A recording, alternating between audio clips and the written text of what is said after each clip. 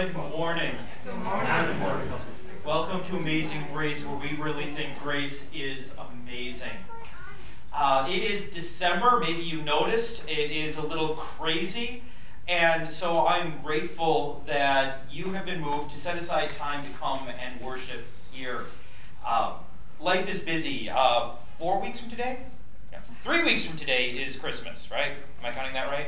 Three weeks from today is Christmas Day. We will have worship, because it happens to be on a Sunday, um, right at 10 a.m. like normal. The night before, we've got Christmas Eve worship at 7 p.m. And I would encourage you, Christmas Eve is a time when people are naturally thinking a little bit more about churchy type stuff. Um, I would encourage you, invite someone to come and join us here and worship. Uh, we're going to have a lot of music. It'll be a few devotions as we go through and uh, a chance to get people in touch with who Jesus is. So, Christmas Eve, 7 p.m., is that worship service. Two weeks from today, we have our pre Christmas potluck. If you'd like to bring something to share, there's a sign up on the counter by the door. One week from today is uh, Cookie Day, where after, after worship, after Bible study, we're going to have a good, healthy lunch, probably something like Little Caesars and then we're going to make cookies and eat them and have cookies to share. You'd like to stick around, that'll be right in the basement. Please, please talk to me or my wife Jennifer, just so we know how much supplies to get, how much sugar, how much flour, how much asparagus, you know, all that stuff that's necessary for good Christmas cookies. Um, if you have asparagus in your cookies, don't give them to me. I will not eat those. Um, so that's one week from today. And then for the rest of rest of December, we also have these in the back. These are devotional booklets talking about the historic reality of Christmas. That what it says in the book of Luke is real.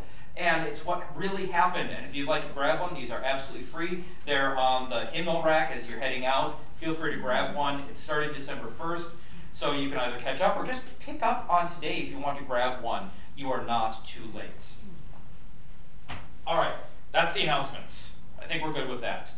Today we're continuing our new sermon series, Something Better, as we prepare for Christmas, as we prepare to meet Jesus.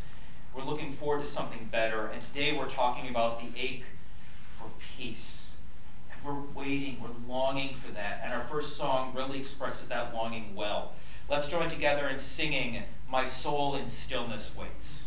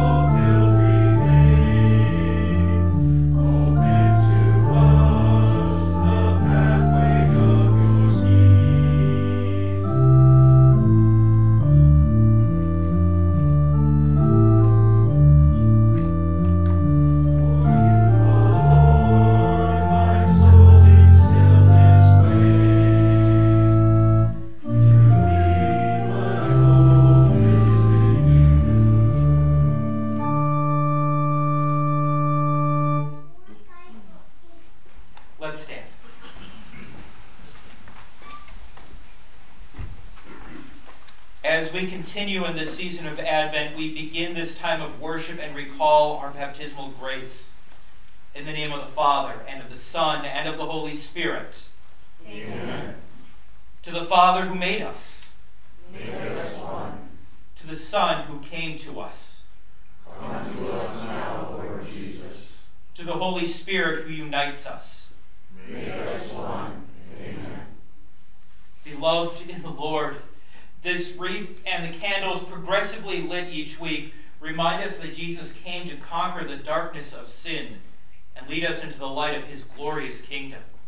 In the season of preparing our hearts and minds to receive the promised Savior given and born for us, we hear today John the Baptist fulfilling Scripture as he prepared the people, called many to repentance, and pointed to the Word of God made flesh. Repent, for the kingdom of heaven is at hand. Prepare the way of the Lord. Make his path straight. Let's pray. Lord Jesus, Savior and King, the true light who comes into this world, bless us as we light this candle in the beginning of our preparation for your coming. Enter our hearts and minds with the light of your love, that we may welcome and receive you with joy as our true and eternal King. For you live and reign with the Father and the Holy Spirit, one God, now and forever. Amen. Your word is a lamp to my feet And a light to my path. We light the candles.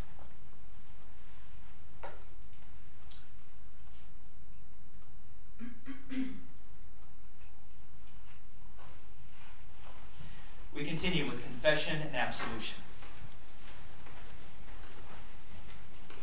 If you, O Lord, should mark iniquities, O Lord, who could stand? But with you there is forgiveness, that you may be feared.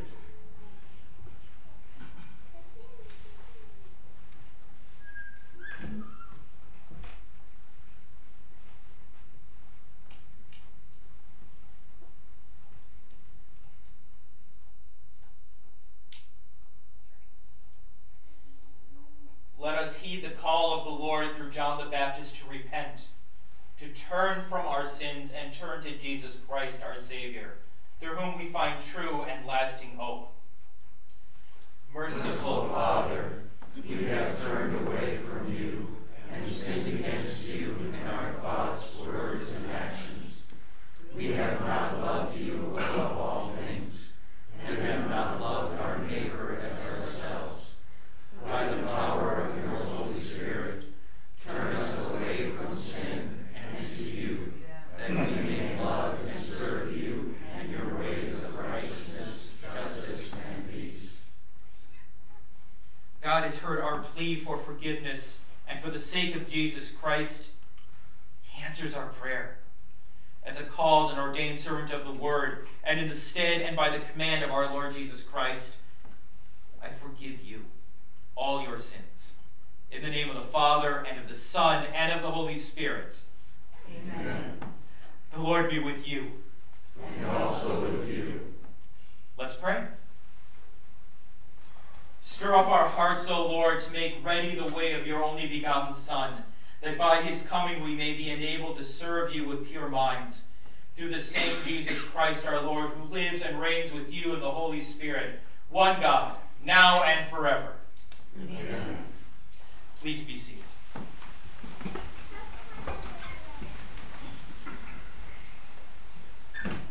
We ache for peace. And our first lesson, we get a picture of what that peace will be when we finally see Jesus face to face. Our first lesson is from Isaiah chapter 11. A shoot will come up from the stump of Jesse. From his roots, a branch will bear fruit. The Spirit of the Lord will rest on him the Spirit of wisdom and of understanding, the Spirit of, of counsel and of power, the Spirit of knowledge and of the fear of the Lord. And he'll delight in the fear of the Lord. He won't judge by what he sees with his eyes or decide by what he hears with his ears. But with righteousness, he'll judge the needy. With justice, he'll give decisions for the poor of the earth.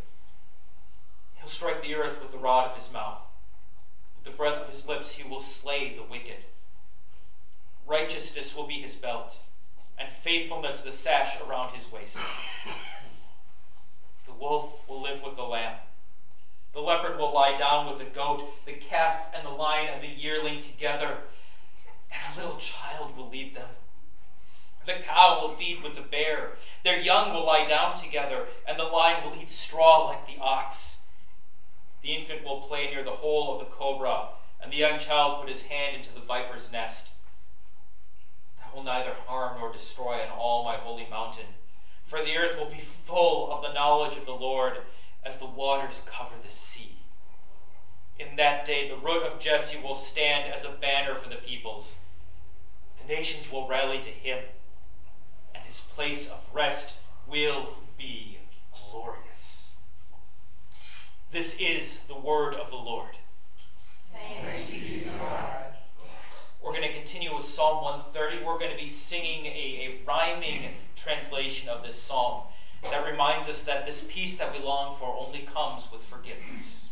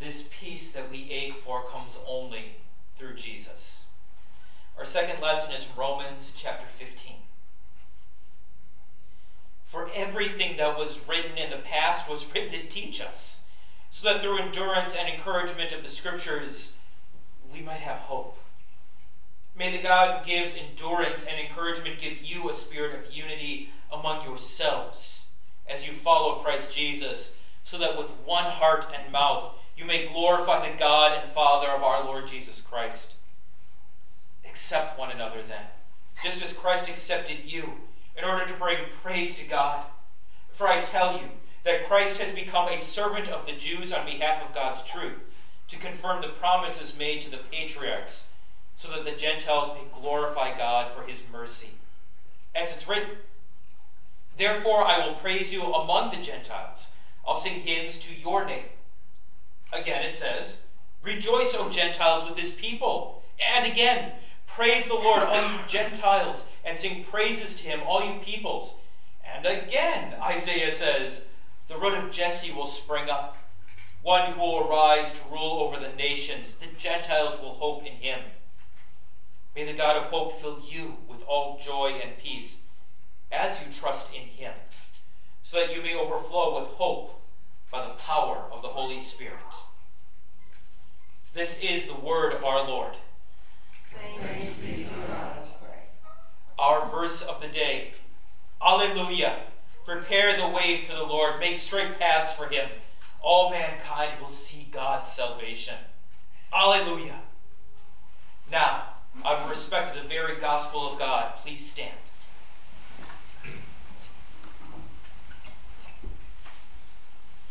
We long for peace. And, and as we long for something, as we hope, our lives will reflect our hope. Our gospel, the Holy Gospel, according to St. Matthew, the third chapter. Glory to you, Lord. In those days, John the Baptist came, preaching in the desert of Judea and saying, Repent, for the kingdom of heaven is near. This is he who was spoken of through the prophet Isaiah, a voice of one calling in the desert, Prepare the way for the Lord, make straight paths for him. John's clothes were made of camel's hair, and he had a leather belt around his waist. His food was locusts and wild honey. People came out to him from Jerusalem and all Judea and the whole region of the, of the Jordan. Confessing their sins, they were baptized by him in the Jordan River. But when he saw many of the Pharisees and Sadducees coming to where he was baptizing, he said to them, You brood of vipers, who warned you to flee from the coming wrath? Produce fruit in keeping with repentance. And don't think to say to yourselves, We have Abraham as our father. I tell you that out of these stones God can raise up children from Abraham. The axe is already at the root of the trees, and every tree that does not produce good fruit will be cut down and thrown into the fire. I baptize you with water for repentance, but after me will come one who is more powerful than I, whose sandals I'm not fit to carry. He'll baptize you with the Holy Spirit and with fire. His winnowing fork is in his hand, and he will clear his threshing floor, gathering his wheat into the barn and burning up the chaff with unquenchable fire. This is the gospel of the Lord. Praise to you, O Christ. Please be seated. We're going to continue now with our hymn of the day that reminds us of that first lesson from Isaiah. Let's sing together Behold, a branch is growing.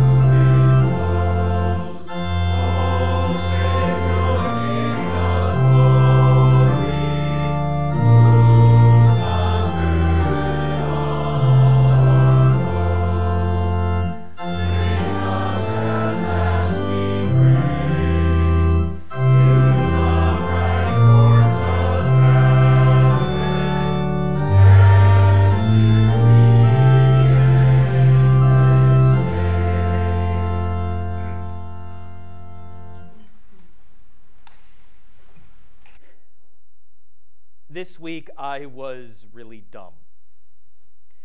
I went shopping on Mall Road. Uh, some of you know this, some of you have done this, some of you maybe don't aren't from around here, so you don't know. But Mall Road in December is not a place you generally want to be unless you have to. I pulled into one of the strip malls there. I did I got what I needed to get, and I tried to pull out of that strip mall. I was turning into a different parking lot, but I had to turn left. Dumb. I see some of you shaking your head at me. Yeah, you, you know. This is not a time of year to turn left anywhere on Mall Road, whether you're trying to actually turn onto the road or in a parking lot, you just don't do it. And I think there was something like 27 near crashes as I was trying to turn left. Okay, probably not that much. But oh man, it was just, it was nuts. And I don't know about you, but um, I don't want to do it again. And I have to. Uh, my wife and I were looking at some deals yesterday, and to save money, we actually have to go back today. No, the, the only thing worse than shopping on Mall Road uh, in December is shopping in Mall Road on a weekend in December. I'm sick and tired of fighting. As I was trying to turn left, it's just like, go away! Stop being here! Let me turn! And it is my guess that whether you're fighting traffic or something else, you can really identify with that feeling of just saying, I'm, I'm done. I'm so sick and tired of fighting.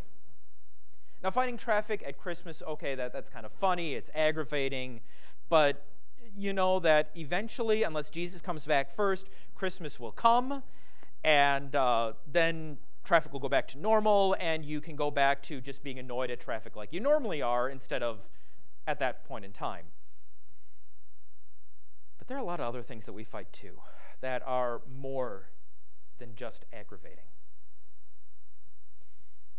Maybe for you, it's fighting a temptation. That there's something that has been in your life for years, for decades, and it has clung to you and you cannot get out of it you are sick and tired of fighting. Maybe it's something outside of yourself. Maybe it's a person that has made it their personal mission in life to make you miserable. And you are sick and tired of fighting them. Maybe it's even just a situation. You're sick and tired of keeping your head above the water financially. But what happens if you give up? What happens if you actually stop fighting? Well, for me, I would probably still be on Mall Road.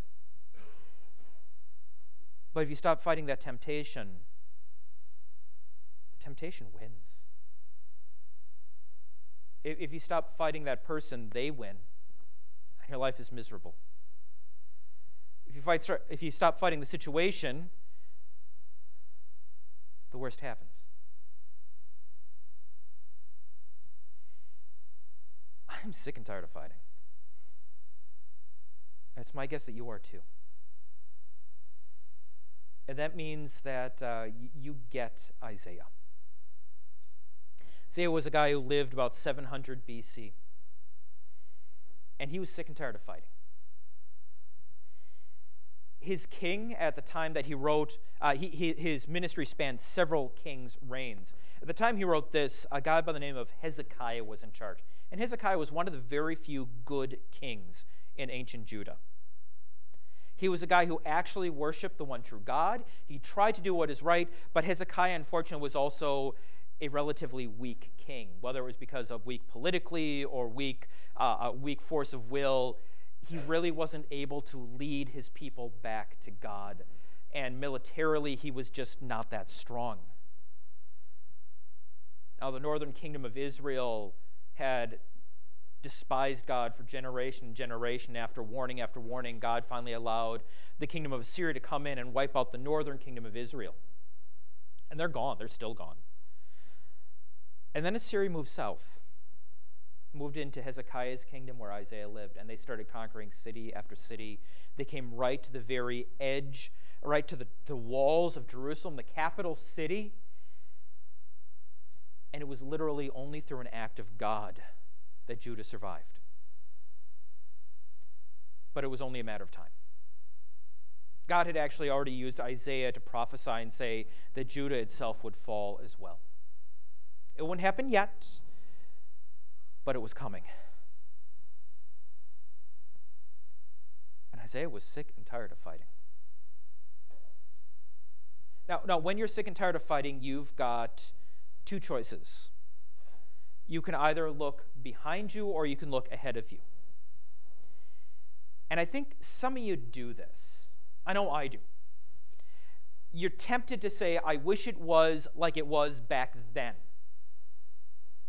This shows up a lot.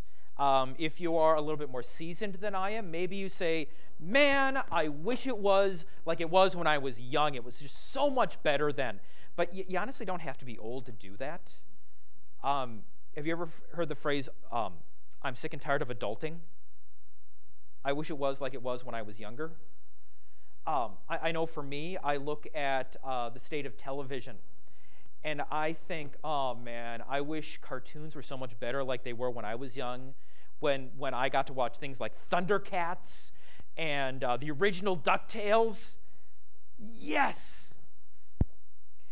But there's a problem with looking backwards. Is that when you look back, you forget that they were not necessarily as good as you remember. A few years ago, I got a DVD set of Thundercats. And I watched it, and you know what? I have no clue why I like that show so much. it was, it was great for me when I was young, and I remember having all the toys, and I loved it, and I watch it now as an adult, and I go, this is not as good as I remember. And if we're honest, when we look back, that's, that's what happens. See, Isaiah looked back and he said, I wish it was like the days of Jesse. Now, Jesse is not a person from the Bible that you might not, that might be a person you, you might not know. It's a lot of mites in that sense. You know what I mean. Jesse was uh, a farmer, he was a rancher, he lived near the town of Bethlehem. He had a bunch of sons, and one of his sons was a kid by the name of David.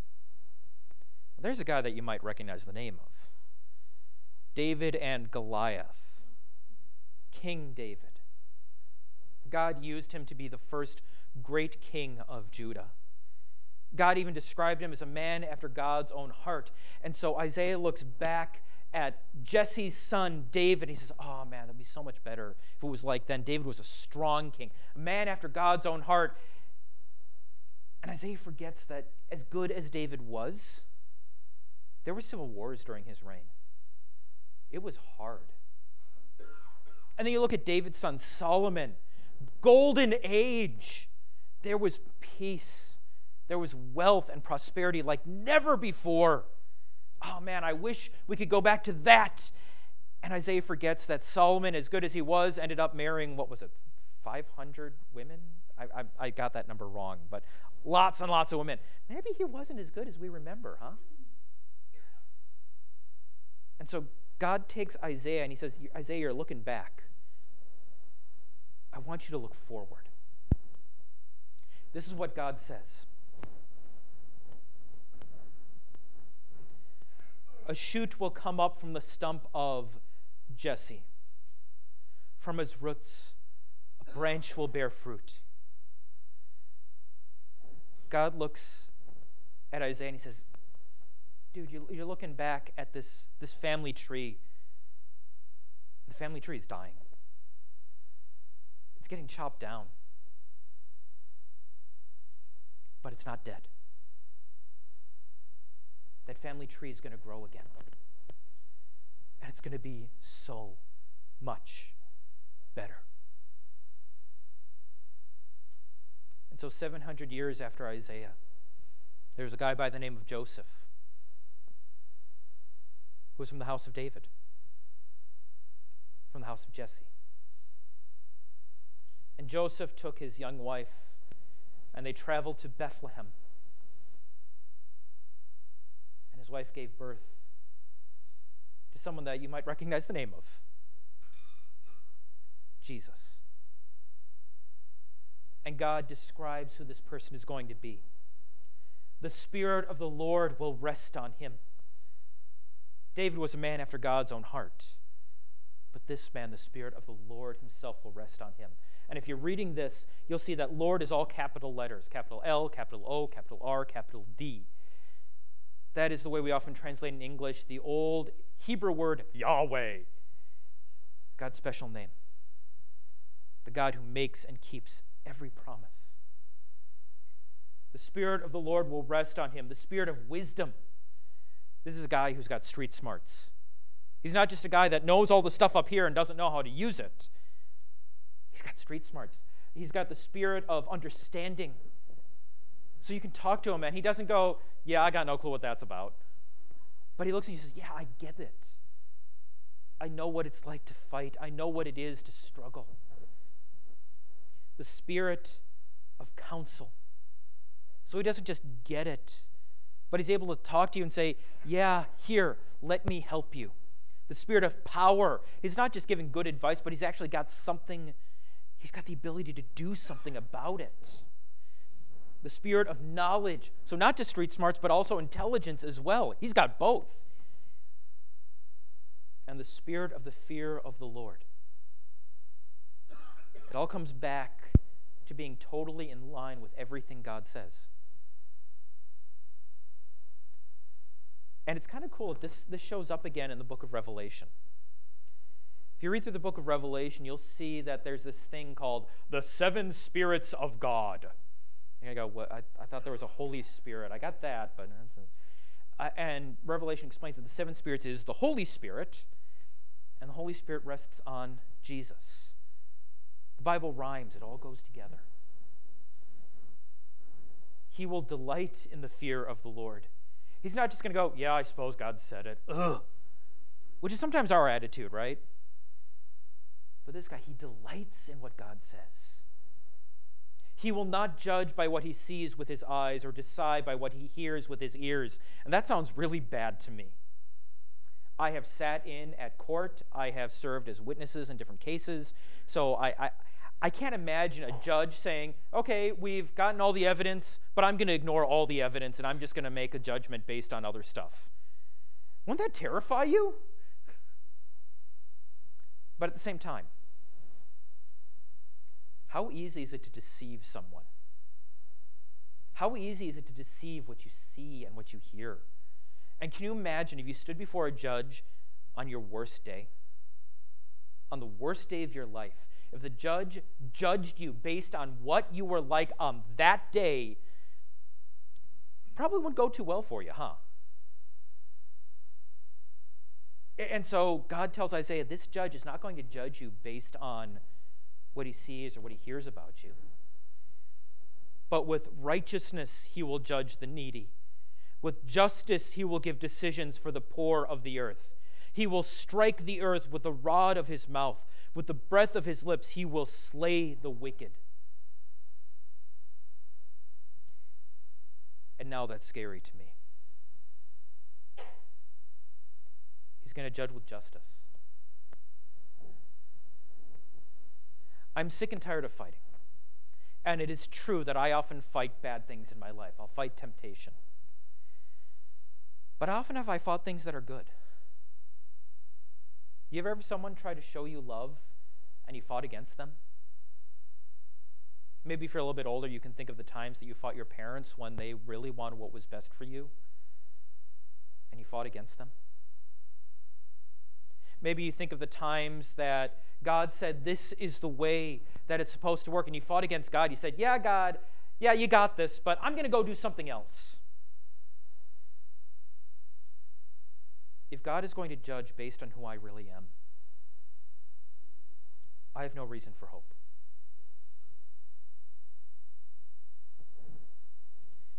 Righteousness will be his belt, and faithfulness the sash around his waist. Faithfulness. There's that idea again. I mentioned before, Lord is the God who makes and keeps every promise. He's faithful. And what has he promised? He's promised to do justice. Everything you've ever done wrong is going to be punished. And that's why Jesus came. The night that Jesus was born, the angels showed up and they sang, Peace on earth. Peace. Jesus did what was right every time. And when he died on the cross, he said, Here, let me have the punishment. Give it to me.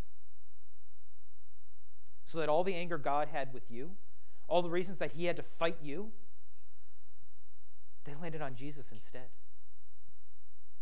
And now, when God looks at you, he sees someone that he is at peace with. You are forgiven because God is faithful to those promises. You are forgiven for all the times that you fought and you weren't supposed to. You are forgiven. And not just forgiven, it's not just, yeah, I forgive you, but I'm going to leave you alone now. No, God is at peace with you. He looks at you and he delights in you. And that peace with God continues. Can you imagine fighting someone and then saying, Yeah, I want to stay at your place? Probably won't work out too well, right? But you're at peace with God, and God says, Now I want you to stay in my place. And this is what that's going to be like. The wolf will lie down, will live with the lamb. The leopard will lie down with the goat. The calf and the lion and the yearling together, and a little child will lead them. The cow will feed with the bear their young will lie down together, and the lion will eat straw like the ox. The infant will play near the hole of the cobra, and the young child put his hand into the viper's nest. They will neither harm nor destroy on all my holy mountain, for the earth will be full of the knowledge of the Lord as waters cover the sea. In that day, the root of Jesse will stand as a banner for the peoples. The nations will rally to him, and his place of rest will be glorious says we'll have peace because we will have the knowledge of the Lord. If that sounds kind of weird, come back next week. We're actually going to be focusing on that concept next week. So I'm not going to focus on it now. But he says they won't be able to hurt you. No more harm to you or anyone you love. Your kids, they're going to play with cobras. Moms, I can imagine how you would freak out at that. But here, no problems. It's fine. They're not going to get hurt. And it's real. They won't get hurt. It's not just a dad saying, Would you calm down? And that place of rest will be glorious. And to tell the truth, I have a really hard time imagining that. Fighting is such a part of my life. No, no, I'm not a boxer. I've never done that. And if you tried boxing me, you would win. It doesn't matter if you're five years old, you would probably win. But fighting temptation, fighting other people, fighting the situation, fighting traffic, you have peace with God, and that means that you will have peace with everything else. Right now, you are at peace. And that something better that you long for, it is coming. Jesus has purchased it, He has won it, and He has won you. That is your home. Something better is coming. The peace you long for is real. Amen. Let's stand.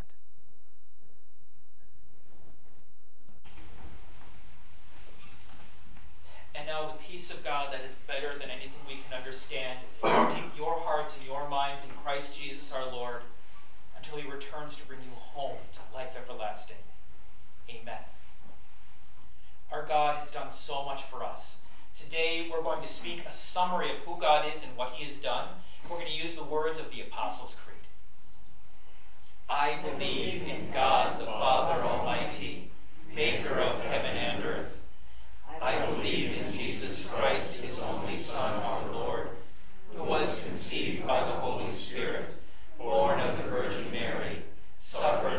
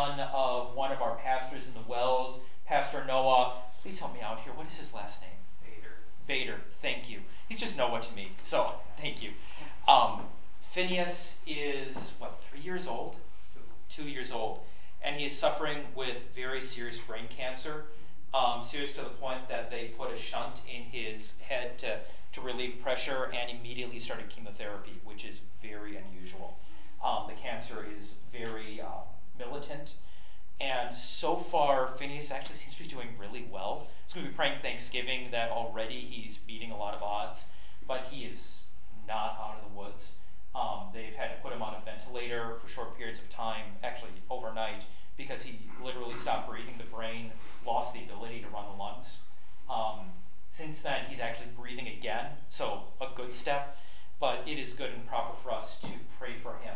Um, Phineas, the son of Pastor Noah Bader. So that'll be in our special prayers. Let's pray. For the whole people of God in Christ Jesus, and for all people according to their needs in the name of Jesus, clinging to the comfort of his grace. As you raised up a voice in the wilderness, O Lord, continue to equip your people to speak to those in darkness and to call them forth into your light. Lord, in your mercy, comfort us in our needs and hear our prayer. Guide your church, O Lord, and all who serve her that they may be faithful in their vocation as pastors, missionaries, and church workers. And bless this congregation, that we may be steadfast in hope, faithful in confession, and united in the work of proclaiming your holy name in this community and to the world. That in repentance, the good news of forgiveness may be known to all here and throughout the world. Lord, in your mercy, comfort us in our need and hear our Make our leaders wise and selfless, Lord, that our nation may faithfully use all that you have entrusted to us, and that we may act with mercy and justice for all people.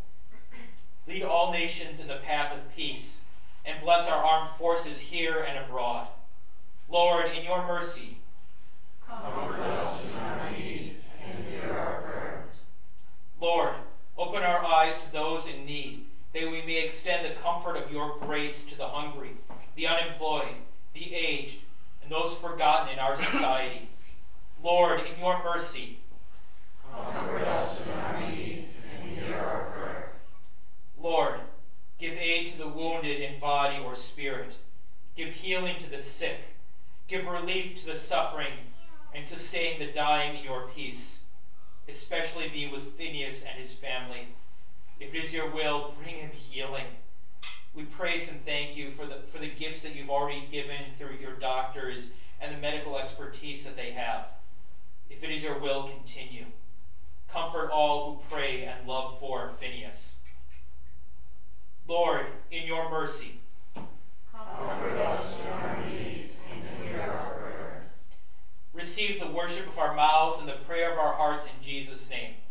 Accept the tithes and offerings we bring, signs of our trust and part of our worship. Amen.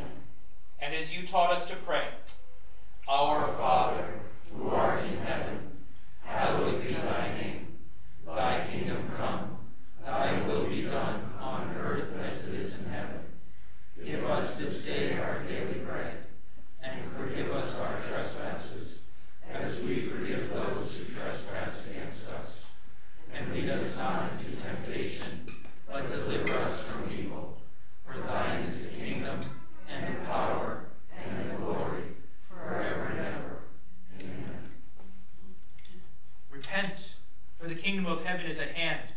Prepare the way of the Lord. May, May the God of hope fill you with comfort, joy, and peace in the promised Savior who has come. The Lord bless you and keep you.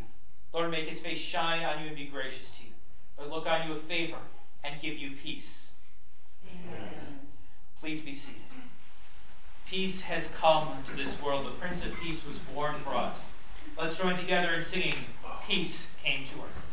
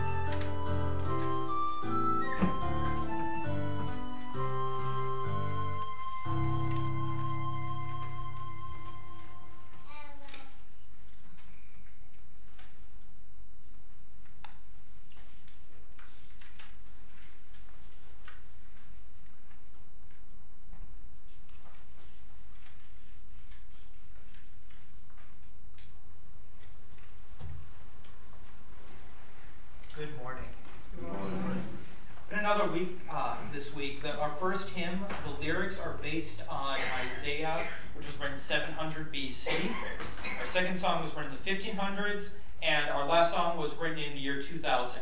So our music.